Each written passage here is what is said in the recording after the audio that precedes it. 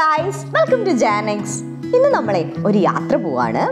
ഇടുക്കി ജില്ലയിലെ മറയൂർ എന്ന നല്ല പ്രശാന്ത സുന്ദരമായിട്ടുള്ള ഒരു ഗ്രാമത്തിലേക്കാണ് ഇന്ന് നമ്മളുടെ യാത്ര.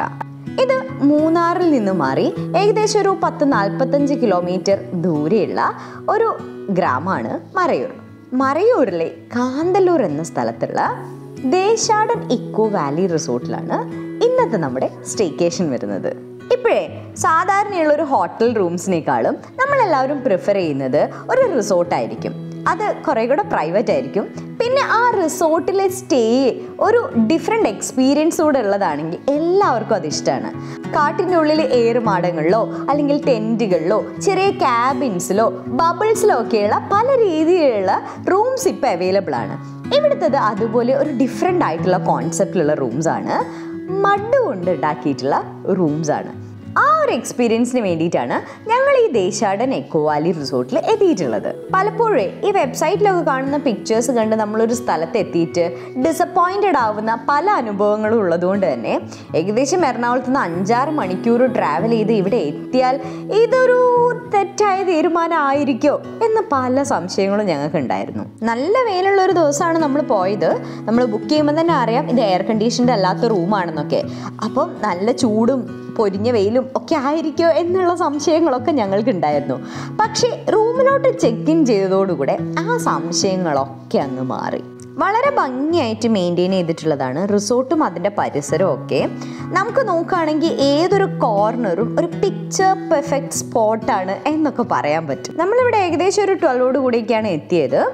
ട്വൽവ് പി എമ്മിനാണ് ഇവരുടെ ചെക്ക് ഇൻ ടൈം വരുന്നത്. നമുക്ക് എന്തായാലും റൂംസ് ഒക്കെ ഒന്ന് കണ്ടാലോ? ഇവിടെ മൂന്ന് കാറ്റഗറിയിലാണ് കേട്ടോ റൂം ഉള്ളത് അതിൽ സുപ്പീരിയർ റൂമാണ് നമ്മൾ ചൂസ് ചെയ്തിട്ടുണ്ടായിരുന്നത്.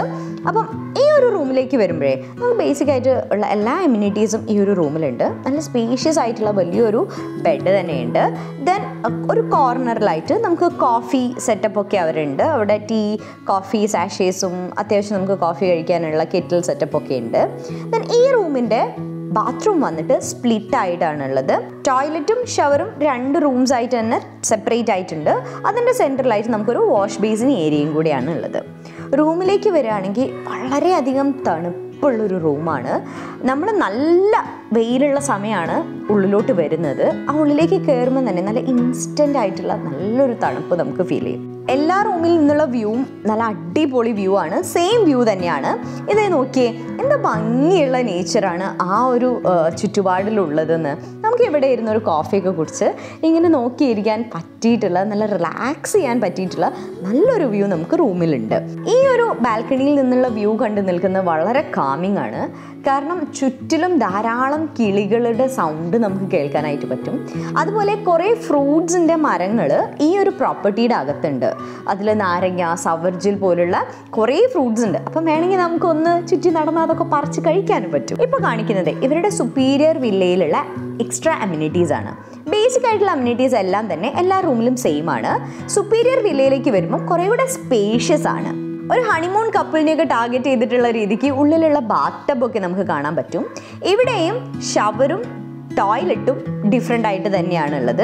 അതുപോലെ വളരെ സ്പേഷ്യസും കംഫർട്ടബിൾ ആയിട്ടുള്ള ഒരു ബെഡും അതിന്റെ പിന്നിലായിട്ട് നമുക്ക് ടി വി വാച്ച് ചെയ്യാനുള്ള ഒരു എക്സ്ട്രാ ഏരിയ കൂടെ ആ ഒരു വില്ലയ്ക്കുണ്ട്. ഇവിടെ വരുന്ന ഗസ്റ്റിന് എല്ലാവർക്കും ഫുഡ് കഴിക്കാനായിട്ടുള്ള ഒരു കോമൺ ഏരിയ ആണ് ഈ ഒരു റെസ്റ്റോറന്റ് നമ്മുടെ പാക്കേജിലൊക്കെ ബ്രേക്ക്ഫാസ്റ്റ് കോംപ്ലിമെന്ററി ആയിട്ട് കിട്ടുന്നുണ്ട്. ബാക്കിയുള്ള രണ്ട് ടൈമിലെ ഫുഡും നമുക്ക് ഇഷ്ടത്തിനനുസരിച്ച് ഓർഡർ ചെയ്യുകയാണെന്നുണ്ടെങ്കിൽ അവർ പ്രിപ്പയർ ചെയ്ത് തരുന്നതായിരിക്കും. അത്യാവശ്യം ഡീറ്റെയിൽഡ് ആയിട്ടുള്ള ഒരു മെനു അതിനായിട്ട് നമുക്ക് അവൈലബിൾ ആണ്. റിസോർട്ടിന്റെ കോമ്പൗണ്ട് ഉള്ളിൽ തന്നെയായിട്ട് നമുക്ക് പാർക്കിങ്ങിനുള്ള സൗകര്യം അവർ പ്രൊവൈഡ് ചെയ്യുന്നുണ്ട് കേട്ടോ. ഈവനിങ് ആയപ്പോൾ നമ്മൾ റിസോർട്ടിൽ നിന്ന് ഒരു വാക്കിന് ഇറങ്ങി. അപ്പോൾ ആദ്യം തന്നെ നമ്മൾ കണ്ടതേ ഒരു അബാൻഡൻഡ് ആയിട്ടുള്ള ഒരു അമ്പലം പോലത്തെ ഒരു സെറ്റപ്പാണ് ഈ പണ്ടത്തെ സിനിമകളിലൊക്കെ കാണുന്ന രീതിക്കുള്ള ഒരു സെറ്റപ്പ് കാന്തല്ലൂർ യഥാർത്ഥത്തിൽ കൃഷിക്ക് ഒരുപാട് പ്രാമുഖ്യമുള്ള ഒരു സ്ഥലമാണ്.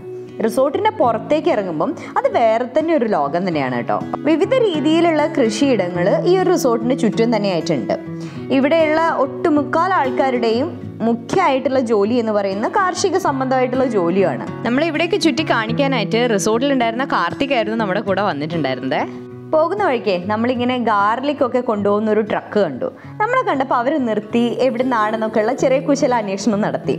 കൂട്ടത്തിൽ ഈ ഒരു ഗാർലിക് തന്നിട്ട് എന്നോട് പറഞ്ഞു ഇതൊന്ന് ടേസ്റ്റ് ചെയ്ത് നോക്കൂ എന്താണ് ഫ്രഷ് ഗാർലിക്കിന്റെ ഒരു വ്യത്യാസം എന്ന് മനസ്സിലാവുന്നത്? അത് കടിച്ചതേ എനിക്ക് ഓർമ്മയുള്ളൂ. നല്ല എരിവായിരുന്നു. ചെറിയൊരു പണിയായിരുന്നു പക്ഷെ ഫ്രഷ് ആയിട്ടുള്ളൊരു ഗാർലിക് ആദ്യമായിട്ട് കഴിച്ചത് എക്സ്പീരിയൻസ് ആണത്. അവിടെ അടുത്തായിട്ട് ഈ വെള്ളച്ചാട്ടമൊക്കെ ഉള്ള പോലത്തെ സൗണ്ട് ഉണ്ട് പക്ഷെ കാണാനില്ല. അപ്പോൾ ഈ വഴിയിൽ കണ്ട ചേച്ചിമാരുടെ അടുത്ത് ഇത് എവിടെയാണെന്നൊക്കെ അന്വേഷിച്ച് നോക്കി. അവർ സത്യത്തിൽ ഈ കൃഷിയിടങ്ങളിൽ നിന്നും അവരുടെ ജോലി കഴിഞ്ഞ് വീട്ടിലേക്ക് പോകുന്ന വഴിയാണ്. കൃഷി ചെയ്ത കുറച്ച് ഐറ്റം ആയിട്ട് അന്ന് കുക്ക് ചെയ്യാൻ പോകുന്ന വഴിയാണ്.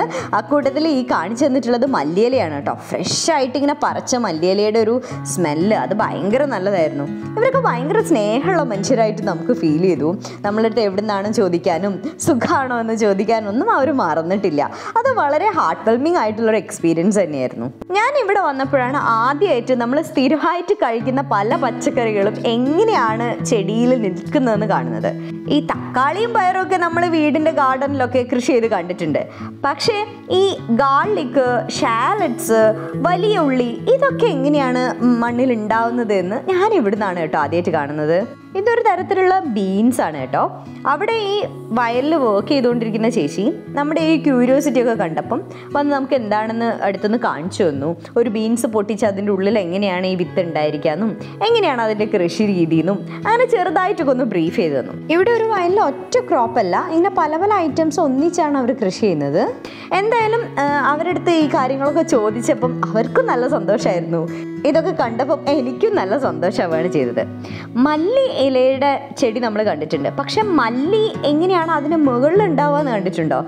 ഈ കാണുന്നത് ഒരു മല്ലിയുടെ ബഞ്ചാണ്. പല കറികളിലും ഈ ഉണക്കി പൊടിച്ചൊക്കെ കഴിക്കുന്ന ഈ ഒരു മല്ലിക്കുരു ഈ ഒരു യങ് സ്റ്റേജിൽ ഞാൻ ആദ്യമായിട്ടാണ് ഈ ചെടിയുടെ മുകളിൽ കാണുന്നത്. അതുപോലെ ഇത് ഷാലറ്റാണ്. നമ്മുടെ ചെറിയ ഉള്ളിയില്ലേ? അത്. അതിന് മുകളിലുണ്ടാവുന്ന പൂവ് കണ്ടോ? നല്ല ഭംഗിയില്ലേ? എനിക്കിതൊക്കെ ആദ്യത്തെ കാഴ്ചയാണ് കേട്ടോ. അതുകൊണ്ട് തന്നെ ഞാൻ വളരെ വണ്ടറടിച്ച് ഇവർ പറയുന്ന ഓരോന്നും വളരെ ക്യൂരിയസ് ആയിട്ട് കേൾക്കുമായിരുന്നു അത്യാവശ്യം വയലും കൃഷിയൊക്കെ കണ്ട് തന്നെയാണ് ഞാൻ വളർന്നിട്ടുള്ളത്. പക്ഷേ ഈ തണുപ്പ് സ്ഥലത്ത് മാത്രം കാണപ്പെടുന്ന ഇങ്ങനെയുള്ള ക്രോപ്സിന്റെയൊക്കെ കൃഷി ഞാൻ ആദ്യമായിട്ടാണ് കാണുന്നത്. ഇവിടെ ഈ വെളുത്തുള്ളിയുടെ ചെടിയാണ് ഞാൻ ഈ നടന്നു പോകുന്ന സ്ഥലത്തുള്ളത്. ആ വെളുത്തുള്ളി വിളവെടുത്ത ശേഷം ഇങ്ങനെ കൂനയാക്കി വെച്ചിട്ടാണ് അവർ ഹാർവസ്റ്റ് ചെയ്യുന്നത്. ഇതൊരു വല്ലാത്ത അനുഭവം തന്നെയായിരുന്നു കേട്ടോ. എനിക്ക് മറ്റൊരു യാത്രയിലും ഇങ്ങനെ ഒരു അനുഭവം കിട്ടിയിട്ടില്ല. അതെന്നെ സംബന്ധിച്ച് ഒരുപാട് സന്തോഷം ഉണ്ടാക്കുന്ന കാര്യമായിരുന്നു. അതുപോലെ ഈ യാത്രയിൽ പരിചയപ്പെട്ട എല്ലാ മനുഷ്യന്മാരും ഒരുപാട് ഹൃദ്യമായിട്ട് പെരുമാറുന്നവരായിരുന്നു. പണ്ട് നമ്മുടെ ലാലേട്ടനെ ഉയരം കൂടുന്തോറും ചായക്ക് രുചി കൂടുന്നു പറഞ്ഞിട്ടില്ലേ?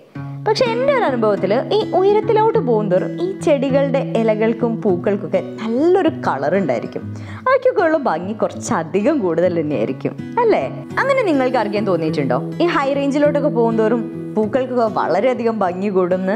ഇത് പലർക്കും അറിയുന്നുണ്ടായിരിക്കും. ക്യാബേജിന്റെ ഒരു തോട്ടമാണിത് ഈ ചെടികൾ യങ് ആണ്. അതിൽ വിളവെടുക്കാനുള്ള സമയമായിട്ടില്ല അതിന്റെ തൊട്ടടുത്തായിട്ടുള്ളത് ഈ പൊട്ടറ്റോസ് വിളവെടുത്ത് കഴിഞ്ഞിട്ടുള്ളൊരു വയൽഭാഗമാണ് കുറച്ച് പൊട്ടറ്റോസ് അവിടെ അവർ വിളവെടുത്ത ശേഷവും ബാക്കി ഇട്ടിട്ടുണ്ടായിരുന്നു. അത് കണ്ടപ്പോഴാണ് നമുക്കത് മനസ്സിലായത് കേട്ടോ. ഒരു ഗ്രാമത്തിന്റെ എല്ലാ ഭംഗിയും ഒരു ഗ്രാമത്തിലെ അമ്പലം കൃഷി ഇതെല്ലാം നമുക്ക് അവിടുന്ന് ആസ്വദിക്കാനായിട്ട് പറ്റി. പിന്നെ വളരെ വൈബ്രന്റ് ആയിട്ടുള്ള നല്ലൊരു സൺസെറ്റും കണ്ടാണ് ഞങ്ങൾ തിരിച്ച് റിസോർട്ടിലേക്ക് മടങ്ങുന്നത്. തിരിച്ചു വരുന്ന വഴി നമ്മൾ ഒരാൾ അവരുടെ വീട്ടിലോട്ട് ക്ഷണിക്കുകയുണ്ടായി. നമ്മളെന്തായാലും അവരുടെ വീട്ടിലോട്ടൊന്ന് കയറുകയും ചെയ്തു. ശരിക്കും നല്ല ഗ്രാമീണ ഭംഗിയുള്ള ഭയങ്കര നീറ്റായിട്ടുള്ള നല്ലൊരു വീട്. എനിക്ക് വളരെ ഇഷ്ടമായി അവരുടെ ഒരു സെറ്റപ്പ് അവരുടെ അനുവാദത്തോടു കൂടി നമ്മളത് വീഡിയോ എടുത്തിട്ടുണ്ടായിരുന്നു. കേട്ടോ. നിങ്ങളൊന്ന് കണ്ടു നോക്കൂ. ഒരു ലിമിറ്റഡ് സ്പേസേ വളരെ എഫിഷ്യന്റ് ആയിട്ട് അവർ ഉപയോഗിച്ചിട്ടുള്ളതായിട്ട് എനിക്ക് തോന്നി. ഇപ്പം നമ്മുടെ നാട്ടിലൊക്കെ മൺമറഞ്ഞു പോയൊരു കാഴ്ചയല്ലേ ഇത്? തീർച്ചയായിട്ടും അത് ഒന്ന് വീഡിയോ എടുത്ത് നിങ്ങളെ കാണിക്കണമെന്ന് തോന്നി. അതുകൊണ്ടാണ് കേട്ടോ ഷെയർ ചെയ്യുന്നത്. റിസോർട്ടിൽ എത്തിയപ്പോഴേ ഈവനിങ് നമുക്ക് ഇങ്ങനെ ഒരു വാക്കിന് പോകാം എന്നുള്ള സജഷൻ വെക്കുന്നത് കാർത്തിക്കാണ്.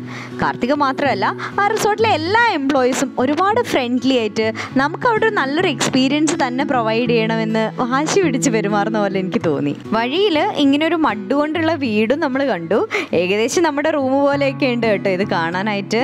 അങ്ങനെ തിരിച്ച് റിസോർട്ടിലേക്ക് എത്തിയപ്പം റിസോർട്ടിന്റെ വളരെ ഭംഗിയുള്ള മറ്റൊരു ഫേസ് ആണ് നമുക്ക് കാണാനായിട്ടുണ്ടായിരുന്നത്. ഈ റിസോർട്ട് ഡിസൈൻ ചെയ്തവർ തീർച്ചയായിട്ടും അതിന്റെ ഓരോ ആസ്പെക്റ്റിനും ഒരുപാട് ഇമ്പോർട്ടൻസ് കൊടുത്തിട്ടുണ്ടെന്നായിട്ട് എനിക്ക് ഫീൽ ചെയ്തു. കാരണം ലൈറ്റ്സ് ആയിട്ടുണ്ടെങ്കിലും ആ ഒരു കംപ്ലീറ്റ് മൂഡാണെന്നുണ്ടെങ്കിലും ആ പ്രകൃതിനെ കംപ്ലീറ്റ് ആയിട്ട് ഹൈലൈറ്റ് ചെയ്യുന്ന ആ ഒരു ഭംഗി കംപ്ലീറ്റ് ആയിട്ട് നമുക്ക് കാണിച്ചു തരുന്ന രീതിക്കായിരുന്നു. നമ്മൾ വാക്കിന് പോകുന്നതിന്റെ മുന്നേ ആയിട്ടേ നമുക്ക് എന്ത് കഴിക്കാൻ വേണമെന്ന് ഓർഡർ ചെയ്തിട്ടുണ്ടായിരുന്നു. ഞങ്ങൾ മിക്സ്ഡ് ഫ്രൈഡ് റൈസും ഒരു ഷെഫ് സ്പെഷ്യൽ ലസാനിയും ആയിരുന്നു ഓർഡർ ചെയ്തിട്ടുണ്ടായിരുന്നത്. നമ്മൾ തിരിച്ചു വന്നപ്പോഴേക്കും ഇതൊക്കെ റെഡി ആയിട്ടുണ്ടായിരുന്നു. ഈ റിസോർട്ടിന്റെ മാനേജർ കം മെയിൻ ഷെഫായിട്ടുള്ള അമലാണ് ഇതെല്ലാം പ്രിപ്പയർ ചെയ്തിട്ടുണ്ടായിരുന്നത്. എല്ലാം ഭയങ്കര ടേസ്റ്റി ആയിരുന്നു. ഈ ഒരു സമയമായപ്പോഴേക്കും നല്ല തണുപ്പുള്ള ഒരു അന്തരീക്ഷമായിട്ടുണ്ടായിരുന്നു ഏകദേശം ഒരു പതിനാല് പതിനഞ്ച് ഡിഗ്രി സെൽഷ്യസ് ആയിരുന്നു ആ സമയത്ത് ഒരു തണുപ്പ്. അപ്പം ഈ കുറച്ച് ചൂടായിട്ടുള്ള ഭക്ഷണമൊക്കെ കഴിച്ച് നല്ല കോസി ആയിട്ടുള്ള സ്ഥലത്തിരിക്കുന്നത് ഒരു വേറെ തന്നെ ഒരു വൈബായിരുന്നു ഇവിടെ ഒരു ക്യാമ്പ് ഫയർ സെറ്റപ്പ് കൂടെ ഉണ്ടായിരുന്നു കേട്ടോ. റൂമിലോട്ട് വരുമ്പം എ സിയുടെയോ ഫാനിന്റെയോ ഒന്നും ആവശ്യമില്ല.